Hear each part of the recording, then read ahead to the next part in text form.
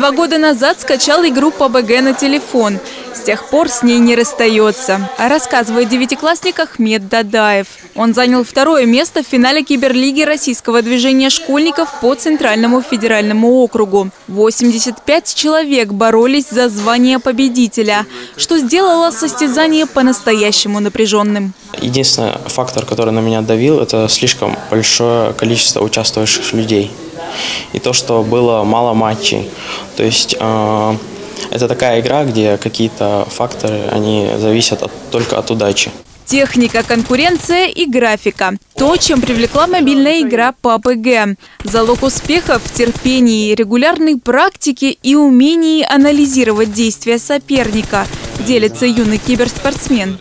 Я, когда только начинал играть, более-менее вот эти вот турниры, а, я смотрел за другими игроками, как они играют, что они в той или иной ситуации делают, как они там двигаются, как они мыслят. Сейчас Ахмед активно готовится к ОГЭ. Говорит, невзирая на стереотип о том, что учеба и мобильные игры несовместимы, успеть можно везде. Главное – поддержка родителей и грамотное распределение времени. Мои родители меня поддерживают в этом плане, то, что я вот играю, но поддерживают в меру.